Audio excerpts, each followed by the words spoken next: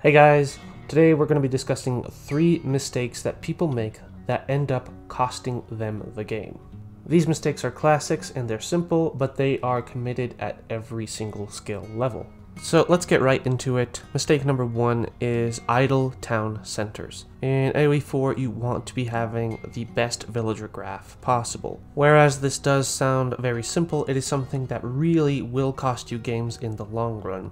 The reason for this is because a town center is a very expensive investment, and thus, as a expensive production building, you want to keep them going as much as possible. If you miss production cycles, on your archers or your knights or what have you, it's not going to be as severe as having an idle town center. One of the biggest bottlenecks that you face as a player is expanding your economy as fast as possible. Make sure that you have two or three villagers queued up in every single town center and check this on an ongoing basis, say every 20 seconds. You want to create an itch for yourself, an itch that needs to be scratched every 20 seconds, where am I producing villagers? Is this town center Yes or no? Once you get into this habit, your villager production will be much better.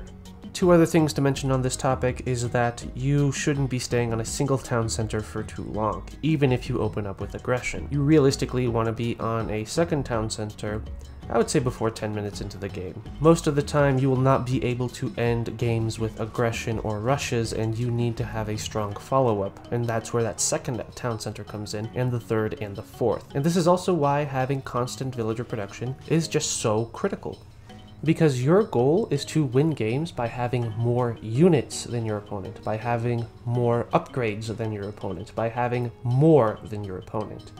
And one of the ways to do that is to expand your own economy. Finally, don't be afraid to overboom. You can go up to like 130 villagers uh, between your villagers and your fishing boats in order to get a very, very strong economy, max out your population, and start building a bank. This particular point carries over from Age of Empires 2, uh, where Hera, for example, a very high level player from that game, was explaining that it is better to have banked up resources and a higher economy and to then delete villagers when you need the military population. So make your villagers constantly and make as many of them as you can as fast as you can. Hey, if you've seen some of the other videos on my channel, this might be an appropriate time for a subscription they are free. Point number two is discussing siege in AoE 4. A lot of the times when we are attacking our opponent, we are looking to do game-ending damage because we have acquired a military advantage. Maybe you just boomed really well and you have a ton of units. Or maybe you have just beat the enemy army in a military engagement and at that point you have more units than your opponent. The question becomes how do you push that military advantage? More often than not, enemy infrastructure, such as town centers, castles, and outposts, make it very difficult for your units to kill your opponent. At this point, you need a very strong siege game. The role of your standing army at this point is to be protecting your siege assets, because what we are looking to do is attack the infrastructure of your opponent with siege. This sounds simple on paper, but there's actually a few technical aspects to it. You actually want to have a certain amount of springald's.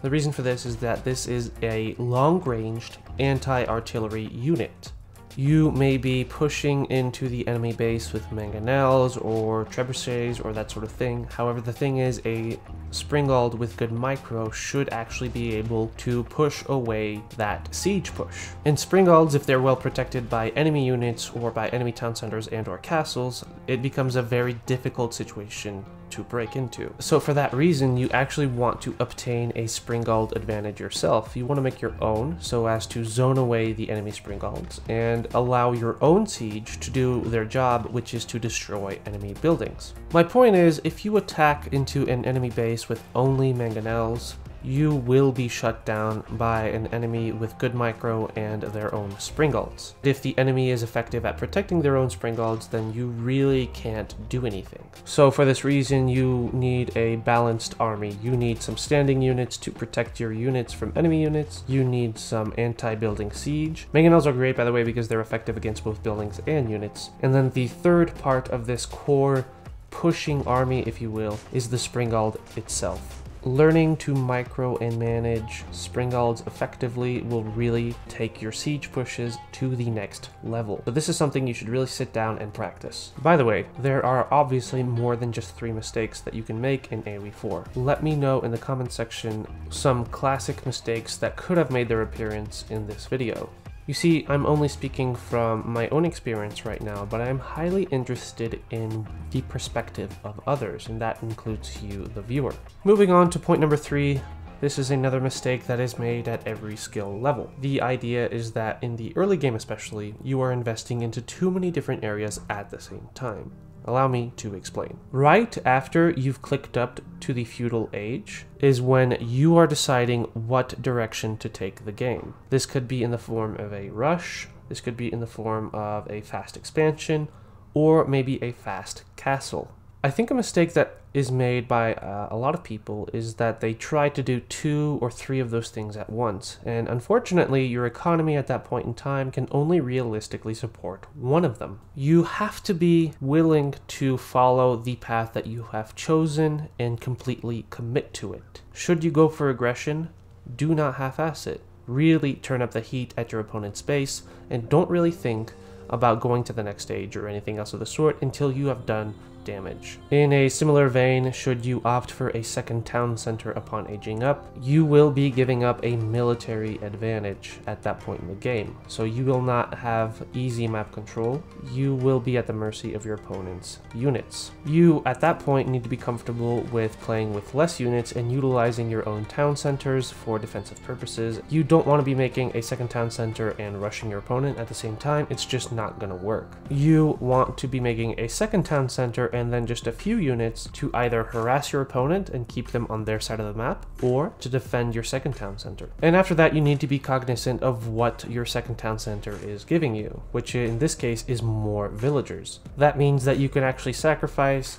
a couple of villagers if needed in order to defeat, you know, siege rams, or if you need to sacrifice them in order to get the actual TC up, that sort of thing. The idea is that you know that you will be producing two villagers at a time instead of one villager at a time, and you need to give time for that investment to pay off knowing when to transition away from your step one plan is all about being good at the game. In the case of a TC fast expand, you want to be pumping out villagers, and eventually you want to utilize the villagers that you have created in order to get a large mass of units. This means that we need to go into a game with a plan. Step 1, second town center. Step 2, get the villagers going. Step 3, make a lot of units, make sure they're upgraded, and then go attack with a superior mass. The idea is to commit to a certain strategy one step at a time. Going into the game with a clear idea of what you want to do and or what you want to prevent your opponent from doing goes a very long way